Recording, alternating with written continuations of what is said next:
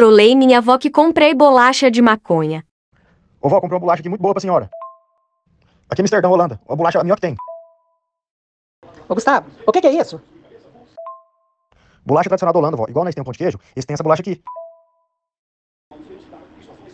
Ô, Gustavo, isso é aquela folha da marvada?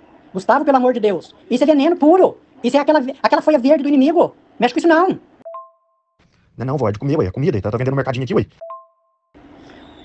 Ô, Gustavo, não coloca esse trem na boca não. Tripa seca, cria juízo. Deus não gosta dessas coisas não. Você só pode estar cheirando maconha.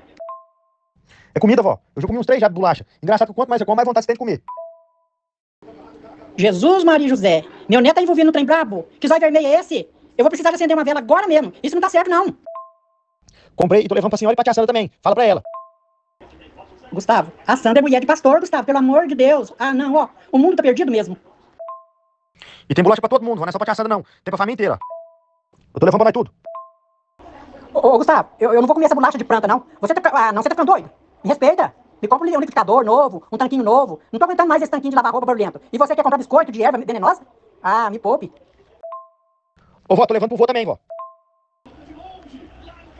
Gustavo, seu avô morreu faz tempo. Ô menino, eu vou contar pra sua mãe, viu? Que você tá mexendo com um trem errado. Vê se cria juízo. Sambanga, calango branco.